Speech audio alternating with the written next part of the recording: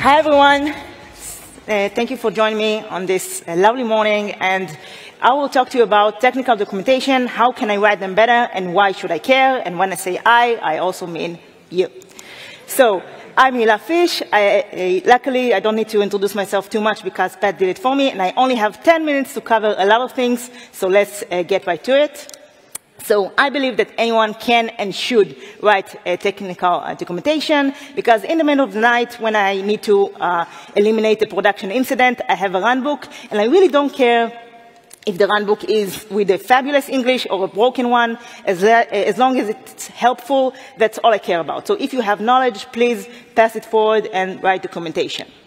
So I believe that if you can't automate it, so just document it. And a lot of things that are uh, that you write in your day-to-day -day can be considered as technical documentation, like system logical design, of course, on-call runbooks, as I just mentioned, code README, onboarding docs, of course, project planning doc, and even Slack print messages. If you deliver value, if you deliver knowledge, that's uh, uh, amazing. So raise your hands, everyone, if you ever said this sentence or heard this sentence before. Okay, right? That's it. So a lot of people say, just read the code and understand what it's about, or the code tells a story. It's not, okay? You need to document, you need to document everything, intentions, reasoning, and even the code. Maybe the code is a spaghetti code on it's not understandable, so you need to have technical documentation that will help you uh, maintain it better. So why write technical uh, documents? First of all, you need to reduce your work volume. And you can say, hey, reduce. I mean, if I write technical documentation, it wasted time for me, right? Wrong. So I can give you an example from one of my previous jobs. I was approached, since I'm a DevOps engineer, I was approached seven or eight times a day uh, about how do I do X and how do I troubleshoot pods in Kubernetes and blah, blah, blah. And the uh, questions were repeatable. So I've gathered all questions. I created a document of tips and tricks by DevOps, how to troubleshoot things.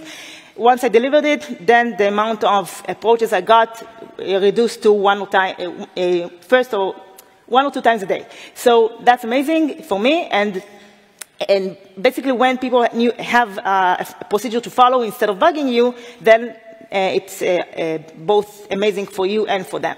And also it's good for communication to managers, right? You, you can show the extent of your work, that you're a team player and really not something that you just write on a CV, right? So that's that. Following that is self-service enablement, right? You will be able to increase their velocity.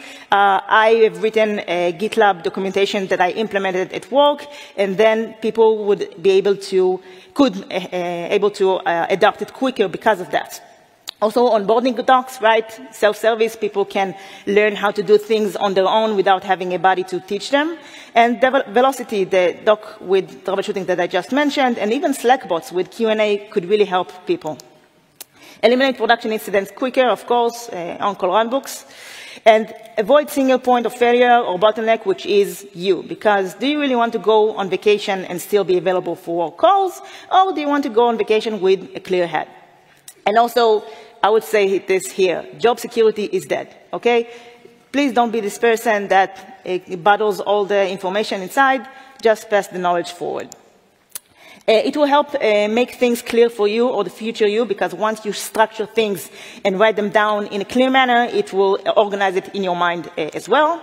And visibility, of course, which is very, very important. It will attract focus to the things that you do at work, which in turn will help progress your career. And uh, lastly, to understand why we're doing things in a certain way, because it will help you defend the decisions we were taking and communicate them to others, and it will also develop your business mindset and will make you a better engineer, because always asking why will result you in striving for the best solution possible. So once we covered the, the why, let's understand how to write a technical project, a technical documentation without being a technical writer.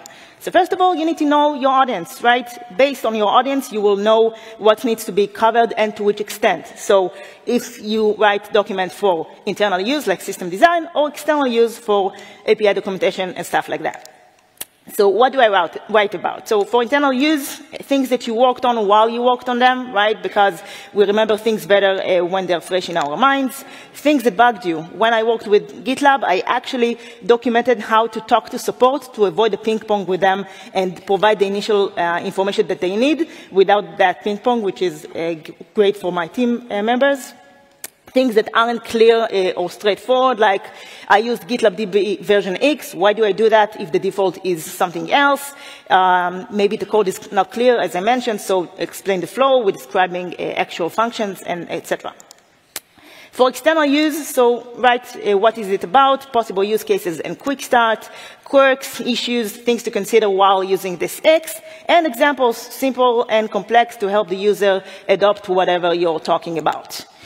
Uh, the next phase is to decide or abide upon documentation type because some companies um, have documentation in a knowledge base like Confluence, and some progress to the next level of Docs as code, which is to interact with Docs uh, in IDE and basically have Docs fully integrated in the dev toolchain.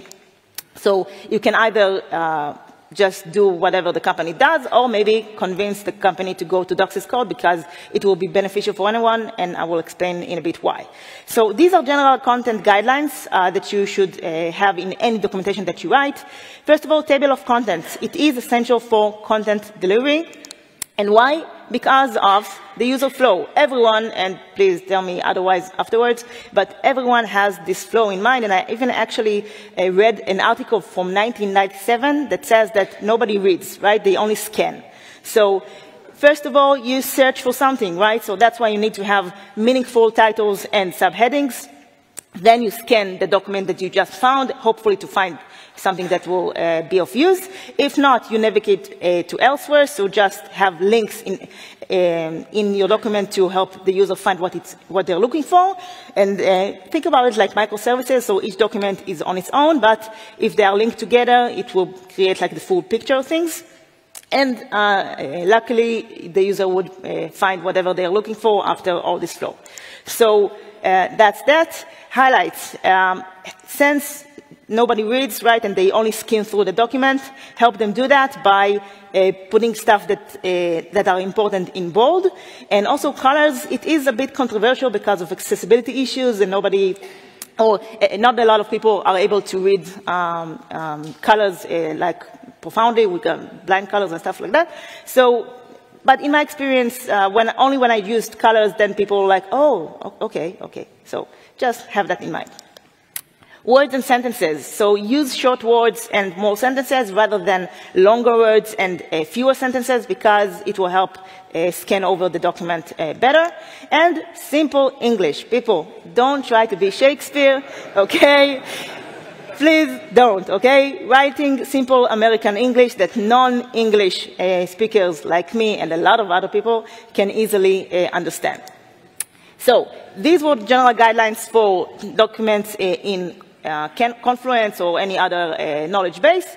This applies also for Docs as code, and I will cover now more things about Docs as code. So first of all, we use Markdown for the win.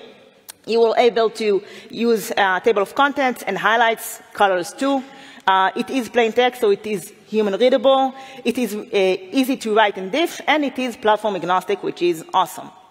Docs folder is in the same uh, code repo, which uh, uh, enables us to have the docs integrated in our dev toolchain, and there's no need to leave the IDE, which is awesome for uh, the engineers. You can have PR review to make sure the doc is in a quality state and to check that the code is actually, that, that the document is actually exists. And also you can do even CI/CD, okay? Continuous integration, continuous deployment, same for deployments for production, but for documents. So you can have validations and uh, to make sure that there are no broken links and linters. Uh, and you can also use a, a tool uh, like Docusaurus that will help you push code to a front end to see the docs in a UI uh, portal and even have docs versioning. So if you need that, if you have a lot of documentation, then you can also do that. The next phase is to remember your audience because uh, we first uh, said that you need to know your audience. Now you need to remember them while you write. So have user flow in mind while you write a certain section and between sections to have a flow. And also the document order should be making sense. So uh, first use the most uh, used parts, write about the most used parts, and then the rarely used ones uh, afterwards. Concept versus tasks. Always think what your audience wants. So sometimes uh, users want to know something, so concepts like information, background, explanations, reasoning, and intentions. And sometimes they want to just do something, how-tos, right? And don't confuse the two, and don't mix them in the same document because they don't care at the same moment when they want to do something. So uh, have them separated and cover whatever the user uh, needs. And last but not least, uh, wow, I finished very quickly. I, I, I talk quickly. Uh, I have a lot of time. Okay, I can speak now very slow. Okay. The dry ones were totally different. so last but not least, share the document that you've written uh, with others because maybe the document is not that clear or it is clear to you but not to others. Maybe Others will suggest you to add certain things that you didn't think about to add because for you it is straightforward, but to them not so much. So uh, share the doc with others to make sure that uh, the doc is readable and helpful uh, for others. And please, the next slide, don't read it, okay? It's very busy and it's intended only to take a picture, okay? So I promised you that this presentation is not for technical writers, but if you do want to perfect your English, if you do want to write things in a way that will be in more high quality, then I've consulted with a colleague of mine uh, who's a technical writer, uh, Joshua Schulgasser, and he uh, provided these uh, tips. So if you want to, you can take a picture, going once, going twice. Okay. So basically, that's it. I mean, I covered a lot of things, I covered it quickly, and I know, I'm sorry. But, um, and if you couldn't remember anything that I just spoke because I spoke quickly, at least have one thing in mind, that if you say, hey, I'm not a technical writer, I'm not sure how to write things, have this golden rule in mind, provide readers with information they need and send them back to their task as soon as possible. Documentation should be clear, simple, and to the point as, as long as the information that you have is helpful. Believe me, everyone will thank you. I don't care if you have broken English, fabulous English, just help me. You know, we need to collaborate. Um, and tips for managers. So if you do want to have documentation as part of your day or make sure that your engineers write documentation, then you can have the documentation being an integral part of the task. And that way, the task definition of done will be once documentation was added. So I hope that after this presentation, you can say that your code is now well documented and uh, it will be beneficial for everyone. Thank you so much.